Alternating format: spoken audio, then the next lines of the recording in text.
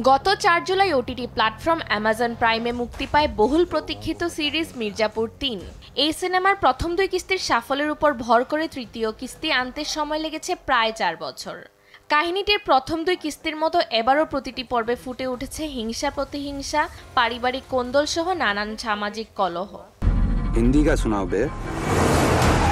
এই সিরিজে অভিনীত প্রতিটি চরিত্রই ছিল বেশ আলোচিত, এমনকি পারিশ্রমিকের দিক থেকেও ছিল আগের চেয়ে বেশি। এই যেমন মির্জাপুর দুইয়ের জন্য দশ কোটি রুপি পারিশ্রমিক নিয়েছিলেন পঙ্কজ, আর তৃতীয় সিজনে তা এসে দাঁড়িয়েছে প্রায় দ্বিগুণ। অন্যদিকে গুড্ডু ভাইয়ের চরিত্রে অভিনয় করা আলী ফজল প্রতিটি পর্বে নিয়েছেন বারো লাখ রুপি। অন্যদিকে গলুর চরিত্রে অভিনয় করে জনপ্রিয় হয়ে ওঠা শ্বেতা ত্রিপাঠী প্রতিটি পর্বে পারিশ্রমিক নিয়েছে দুই লাখ বিশ হাজার রুপি। এবং কালীন ভাইয়ার স্ত্রীর চরিত্রে অভিনয় করা রসিকা প্রতিটি পর্বের জন্য নিয়েছে দুই লাখ রুপি। দ্বিতীয় সিজনের শেষ থেকে তৃতীয় সিজনের শুরু হয়েছে। মুন্না ভাইয়া পৃথিবী থেকে বিদায় নেওয়ার পর কালীন ভাইয়া কোমায় চলে গিয়েছিল। যে কারণে গুড্ডু ভাইয়ার ক্ষমতা বেড়ে গিয়েছে।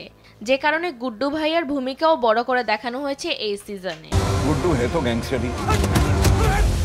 তবে সিরিজ লাভারদের মতে প্রথম এবং দ্বিতীয় সিজন থেকে তৃতীয় সিজনটি ছিল বেশ ছন্ন ছাড়া। কয়েকটি পর্ব দেখার পরই দর্শকরা শেষ দেখার আগ্রহ হারিয়ে ফেলবেন। অনেকেই বলেছেন এই সিরিজে শুধু অ্যাকশনের দিকে নজর দিয়েছে পরিচালক। তবে কেউ কেউ বলছেন শুরুর দিকে এতটা জমজমাট না হলেও শেষটা ছিল দারুণ। শেষের ২০ মিনিট দেখে দর্শকদের মন জয় করেছে মির্জাপুর তিন সিজনটি। ফাতেমাতুজ জোহরা দেশ টিভি